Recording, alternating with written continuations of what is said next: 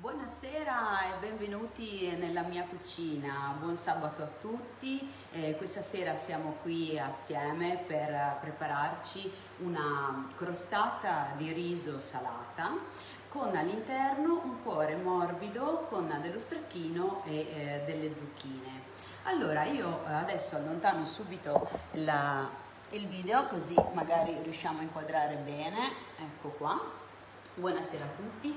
Allora, dicevo, intanto mi scuso un po' per le luci perché purtroppo a quest'ora le luci sono un pochino diverse. Sembra che, che, lavoro con le candele accese, in realtà è tutto acceso. Buonasera, diamo un salutino. Luciano, buonasera.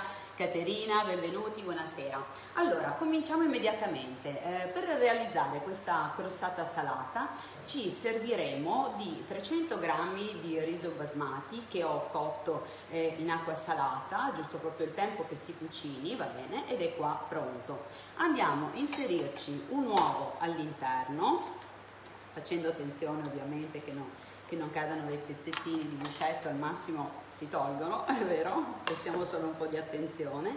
Mescoliamo il tutto per creare proprio questo impasto. Allora, questa crostata salata può essere una eh, valida soluzione, una valida alternativa a tutto il concetto, a tutto il mondo delle torte salate a base eh, di pasta sfoglia, a base di pasta brisée. Facciamo una cosina un po' più eh, delicata, peraltro oggi la realizziamo come piatto unico, quindi eh, su, una, su, una, tortiera che poi vi faccio vedere, però può essere anche interessante eh, l'idea di eh, preparare anche delle mini porzioni, quindi servirci di piccoli, di piccoli stampini, va bene, e fare appunto il concetto magari degli antipastini. Allora adesso io ci ho messo un uovo, però eh, consiglierei anche di metterne un secondo. Le ricette normalmente ne mettono uno, però in realtà poi eh, vi si compatta meglio con, con, due uova, quindi io ne inserisco due, va bene? Mescoliamo bene il tutto poi andiamo ad aggiungerci un 100 g eh, di grana grattugiato io normalmente metto quello però eh, potrebbe essere che magari eh, può piacere anche l'idea di inserire del pecorino grattugiato poi ovviamente ognuno in base ai propri gusti può eh, adattare la, la ricetta utilizzando magari sempre le stesse dosi ok? Allora ecco qua. Buonasera Pino benvenuto. Allora inseriamo il grana e così il nostro impasto è praticamente pronto. Poi vi faccio vedere anche cosa ci mettiamo all'interno. Adesso ce lo mescoliamo bene. Ecco qua. Prendiamo la tortiera, scusate che sposto questo, ve la faccio vedere. Ecco qua, scusate che mi allontano Ecco, io utilizzo mm, quest'oggi eh, questo tipo di, di, tortiera perché appunto mi, mi piace l'idea di, ehm, di, vedere poi tutta questa sagoma che resta molto, molto presente.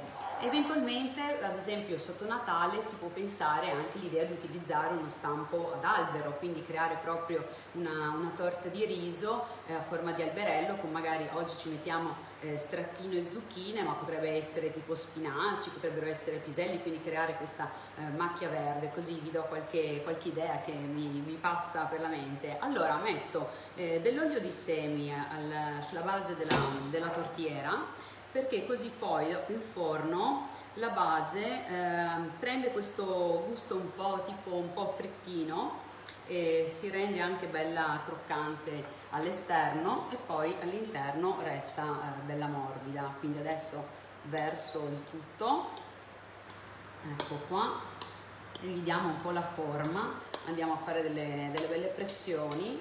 Scusate che appoggio da questa parte. Monia buonasera, Walter buonasera, benvenuti siamo di cucina quest'oggi anche se è sabato ma si cucina lo stesso no? che dite? stiamo un po' in compagnia. Allora, ecco qua, voi cosa vi preparate questa sera di buono? Avete qualche piattino da suggerire? Dopo leggo i commenti, poi vi rispondo, ci scambiamo un po' le informazioni.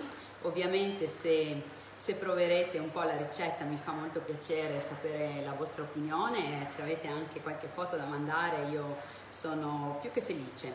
Allora, praticamente noi andiamo a premere bene sul centro in modo che poi anche sui bordi si attacca bene in modo da, ehm, da far sì che poi quando sarà cotta che andremo a rovesciarla nel piatto e poi a rigirarla nuovamente tutto il bordo vi resta assolutamente eh, bello sagomato allora voi dovete cercare con il cucchiaio di creare una sorta di nicchia eh, in modo che creiamo questa parte questo bordo ci aiutiamo anche un po' così con la mano in parte e col cucchiaio, così questo interno un po' più profondo sarà la parte contenitiva del nostro ripieno. Ok? Ecco, a questo punto lo abbiamo, eh, lo abbiamo preparato, la tortiera è pronta, magari mi aiuto anche un pochino così nei bordi, poi vedrete quando andrà in forno si creerà tutta una bella crosticina, è veramente molto eh, molto sfiziosa. Allora, la tortiera l'abbiamo pronta, adesso prepariamo, um, prepariamo il composto. Allora, io pensavo di eh, inserire appunto stracchino e zucchine allora, normalmente quando parlano così del, di ricette di torte salate con gli interni a base di verdura, ehm, non specificano spesso eh, di cucinarle prima, possibilmente si possono mettere anche crudo ovviamente, però eh, per me è, è, più interessante dargli una precottura. Allora, le zucchine io le ho messe qui nel pentolino, vedete, ho fatto praticamente eh, un po' di, ho messo un po' di olio, un po' di cipolla e ho fatto appassire le zucchine con un po' di sale, giusto eh, 5-7 minuti, il tempo che vi lessate il riso vi date una, una precottura alle zucchine, perché così intanto si saporiscono e poi sono belle morbide, va bene? Anche perché poi in forno eh, la crostata resterà quei 25 minuti a 180 gradi, quindi comunque si cucinerà, però eh, così eh, sono più saporite, quindi mescoliamo assieme il composto. Allora anche qui oggi la facciamo così una versione abbastanza eh, delicata, con dei sapori abbastanza ehm, leggeri, però se vi piace qualcosa di più gustoso potreste pensare anche ad inserire altri tipi di formaggio, ad esempio eh, della gorgonzola con del radicchio o, o comunque sia anche con della zucca, della provola, quindi la vostra fantasia eh, potrà sbizzarrirsi sulle varie alternative di, di sapori. Ecco qua, adesso amalgamiamo tutto il nostro composto. Allora, io sul fondo della crostata eh, ci metto comunque anche un po' di eh, formaggio di latteria fresco, visto che ce l'ho, ho pensato di, di inserirlo. Potrebbe essere anche del galbanino o comunque qualche altra tipologia, oppure anche semplicemente fermarsi a questo composto, ma io la, la volevo rendere un pochino più eh, golosa. io amo i formaggi, ma penso che l'abbiate capito perché spesso li, li inserisco. Fortunatamente adesso ci sono anche tante versioni senza lattosio, quindi eh, si possono adattare eh, un po' a, a tutte le necessità. Ecco qua. Allora, ci riprendiamo la nostra crostata eh, mettiamo questi cubetti sul fondo di formaggio. Ecco qui me li metto un pochino sparsi giusto un pochino per far sì che poi quando eh, verrà servita ci sarà questo cuore morbido un po' filante eh, che la rende assolutamente golosa. Ecco qui adesso ci mettiamo all'interno il nostro composto, quindi vedete eh, si prepara proprio in un attimo, e, è molto gradevole. Ecco.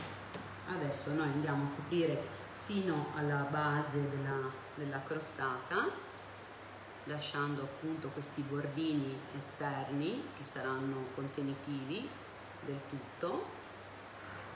Ecco qui poi sarà pronta per essere infornata, come dicevo prima, forno eh, preriscaldato a 180 gradi, un 25 minuti sono sufficienti. Se volete alla fine potete decorare anche con qualche eh, fettina di affettato, di prosciutto cotto, eh, inserire all'ultimo se volete fare una decorazione, qualche rosellina di, di prosciutto giusto per eh, chiudere un po' eh, in bellezza e presentarla così in maniera un po' simpatica. Ecco qua, noi l'abbiamo preparata, adesso vado a infornarla, vedete? eccola qua pronta. Inforniamo, poi magari eh, più tardi, eh, quando sarà pronta, vi lascio eh, la foto con, con, tutte le dosi, ok? E magari tra i commenti vi lascio la diretta di questa sera, così se volete dare un'occhiata la, la trovate. Io vi ringrazio, vi auguro una buona serata e ci vediamo la prossima settimana. Grazie mille, buonasera.